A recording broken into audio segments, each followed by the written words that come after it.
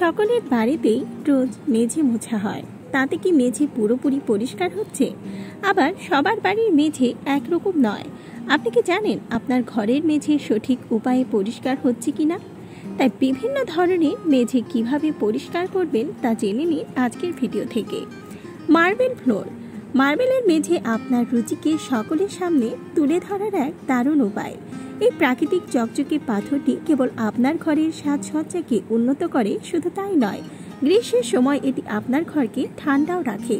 তবে অন্যান্য প্রাকৃতিক পাথরের মতো মার্বেলেরও দাগ এবং ক্ষয়ের ঝুঁকি রয়েছে।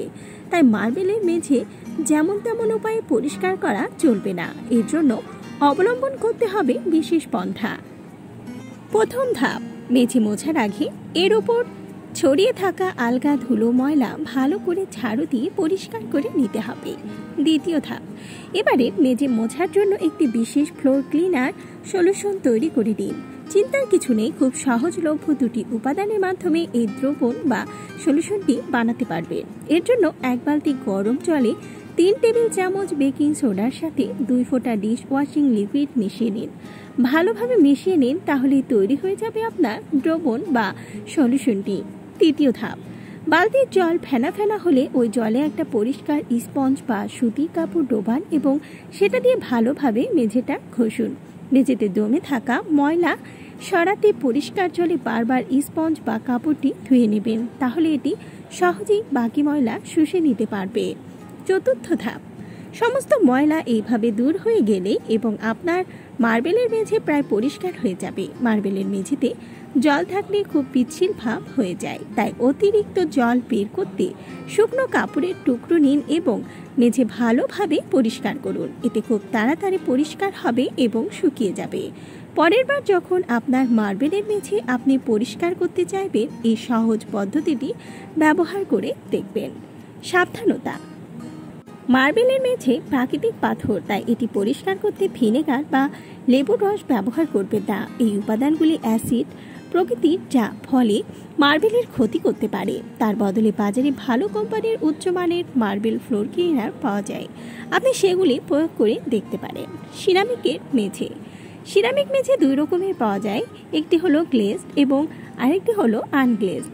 গ্লেজ সিরামিক মেঝের সারফেসে কাচের একটা প্রলেপ থাকে। যেটা একটা মসৃণ ও টেকসই বানায় এবং রক্ষণাবেক্ষণও খুব সহজ। তবে আনগ্লেসড প্রকৃতির সিরামিক মেঝের উপরে টাচ থাকে না, যার ফলে এর উপরে সহজে ধুলো ময়লা জমে এবং পরিষ্কার করা কঠিন হয়ে দাঁড়ায়। প্রথম ধাপ এই ধরনের জিনিস পরিষ্কার করা পরিশ্রমের বলে আপনার একটা কড়া কার্যকর ক্লিনিং সলিউশন তৈরি করতে হবে। এর জন্য একটি বালতির চার ভাগে তিন ভাগ জল দিয়ে ভর্তি করুন এবং তার মধ্যে এক কাপ ভিনেগার এবং দুই চা চামচ ডিশ ওয়াশিং লিকুইড মিশিয়ে দিন। এবার একটা কাঠের চামচ বা একটা পরিষ্কার ন্যাকড়া দিয়ে দ্রবণটা নাড়ুন। এই কাজটি করার সময় অবশ্যই রাবারের গ্লাভস হাতে পরবেন। দ্বিতীয় ধাপ, ফ্লোর ক্লিনিং প্যাড জলে ভিজিয়ে আপনার সেরামিক মেঝে ঘষুন। মেঝে খুব ভালো করে ঘষলে এটা উপরে হালকা ধুলো, ময়লা এবং জঞ্জাল দূর করবে। তৃতীয় ধাপ এরপর একটা পরিষ্কার কাপড় নিন এবং ক্লিনিং সলিউশনে সেটা ভেজান। এবার সেই কাপড় দিয়ে সিরামিকের টাইলস পরিষ্কার করা শুরু করুন এবং নিশ্চিত করুন যে আপনি পুরো মেঝের জায়গাটা কভার করেছেন। এই ক্লিনিং সলিউশন যেটি দাগ এবং ছাতা পড়া দাগও দূর করবে। মোছার সময় যতবার ন্যাকটাটা কালো এবং ময়লা হবে ততবার এটা জল দিয়ে ধুয়ে ফেলুন আর পুনরায় সেটা সলিউশনে ভিজিয়ে পরিষ্কার করুন। চতুর্থ ধাপ। দাগ ছোপগুলো করা হলে বা সহজে না ওঠে, তাহলে দশ থেকে পনেরো মিনিটের জন্য টাইলসের উপর ক্লিনিং সলিউশন মাখিয়ে রেখে দিন। এটা দাগ ছোপগুলো নরম করে তুলে ফেলবে। পঞ্চম ধাপ। এই সলিউশন দিয়ে পুরো জায়গাটা পরিষ্কার করা হয়ে গেলে অন্য একটা পরিষ্কার কাপড় ব্যবহার করে মেঝে মুছে ফেলুন। এরপর ফ্যান চালিয়ে মেঝে শুকিয়ে ফেলুন। এই পদ্ধতি আপনার আনগ্লেড সিরামিকের মেঝেকে পরিষ্কার করার সাথে সাথে ছলমলে করে তুলবে। উডেন ফ্লোর বা কাঠের মেঝে। উডেন ফ্লোরের যত্নে একটু বেশি যত্নবান হতে হয়। এর পিছনে ঝাঁকিটাও কম নয়। প্রথমে উডেন ফ্লোর ভ্যাকুয়াম ক্লিনার দিয়ে পরিষ্কার করে নিতে হবে। তারপর ওয়াক্স অ্যাপ্লিকেটর যা দেখতে মপের মতন, এর সাহায্যে উড ফ্লোর ক্লিনার লাগিয়ে কয়েক মিনিট অপেক্ষা করুন, তারপর ক্লিনার শুকনা কাপড় দিয়ে মুছে ফেলুন। ভিনেগারের মিশ্রণ ভিনেগার এবং জল একসঙ্গে মিশিয়ে ফ্লোর ক্লিনার হিসেবে ব্যবহার করুন। সরাসরি উডেন ফ্লোরে এই মিশ্রণ ব্যবহার করবেন না। এই মিশ্রণে স্পঞ্জ বা তোয়ালে ভিজিয়ে নিংড়ে নিয়ে মেঝে পরিষ্কার করুন। পরিষ্কার করার পর দেখবেন আপনার কাঠের মেঝেটি কেমন যেন ঝকঝকে হয়ে গেছে। চায়ের মিশ্রণ এছাড়াও টি ব্যাগ জলে ভালো করে ফুটিয়ে সেই মিশ্রণ দিয়ে উডেন ফ্লোর পরিষ্কার করতে পারেন, তাতেও ঝকঝকে দেখাবে। ভিনেগার এবং তেলের মিশ্রণ কাঠের ফ্লোর ঝকঝকে রাখার জন্য হোয়াইট ভিনেগার এবং ভেজিটেবল অয়েল একসঙ্গে মিশিয়েও ব্যবহার করতে পারেন। টাইলসের মেঝে। টাইলসের ধরন অনুযায়ী যত্ন নেওয়া প্রয়োজন। এখন বিভিন্ন নকশা বা ডিজাইন করা টাইলসের ব্যবহার বৃদ্ধি পাচ্ছে। এই টাইলসের মেঝে পরিষ্কার রাখার জন্য সপ্তাহে অন্তত একদিন ঘরোয়া উপায়ে হালকা গরম জলে ভিনেগার মিশিয়ে ঘর মুছতে পারেন। এতে টাইলসের উজ্জ্বলতা বজায় থাকে। ঘর রোগ জীবাণু মুক্ত থাকে। বিশেষ করে বাথরুমে মেঝে পরিষ্কার রাখতে এই পদ্ধতি প্রয়োগ করে দেখতে পারেন। আর প্রতিদিন স্বাভাবিক তাপমাত্রা জল দিয়ে মুছে পরিষ্কার রাখতে হবে টাইলসের মেঝে। শুরুতে কিন্তু টাইলসে কোনো ময়লা জমে না। দীর্ঘদিন ব্যবহারে এতে দাগ পড়ে যায় কিংবা টাইলসের ফাঁকে কালো দাগ বসে যায়। টাইলসের মেঝে পরিষ্কারের সময় এর জোড়াগুলোর কোনা ভালো করে পরিষ্কার করতে হবে। বেকিং সোডা দিয়ে পরিষ্কার টাইলসে কঠিন দাগ দূর করার জন্য বেকিং সোডা সাহায্য নিতে পারেন। এক্ষেত্রে একটি পাত্রে বেকিং সোডা এবং গরম জল মিশিয়ে একটা পেস্ট বানিয়ে নিন। এরপর এই পেস্ট সেই দাগের উপর লাগিয়ে পুরনো টুথব্রাশ দিয়ে ঘষে নিন। কোনার ময়লা পরিষ্কারে সুবিধা হবে। দশ মিনিট এইভাবে রেখে গরম জল দিয়ে ধুয়ে ফেলুন। দেখবেন টাইলসের বর্ডারের দাগগুলো আর নেই। আর এইভাবে আপনি ঘরের টাইলস ঝকঝকে সাদা করে নিতে পারবেন। ডিটারজেন্ট সলিউশন যদি বেশি অপরিষ্কার মনে হয়, তাহলে জলের সঙ্গে ডিটারজেন্ট মিশিয়ে মেঝে পরিষ্কার করতে হবে।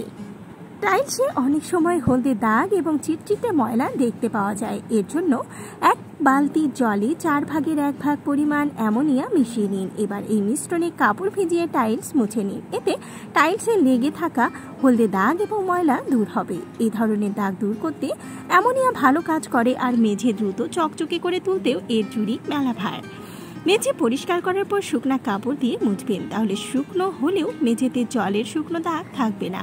ঘর মোছা হয়ে গেলে ফ্যান ছেড়ে জল শুকিয়ে নিন, নয়তো টাইলসের কোণে জল জমে স্যাঁতসেতে হয়ে থাকতে পারে। সিমেন্টের মেঝে। বেশিরভাগ বাড়িতে এখনও সিমেন্টের মেঝে দেখা যায়। সিমেন্টের মেঝে একটু অমসৃণ প্রকৃতির হয়, তাই সিমেন্টের মেঝে প্রতিদিন মোছা ভালো। সিমেন্টের মেঝে পরিষ্কার করার জন্য জলে একটু কেরোসিন মিশিয়ে পরিষ্কার করলে দেখতে চকচকে লাগে আর মশামাছির উপদ্রবও কম হয়।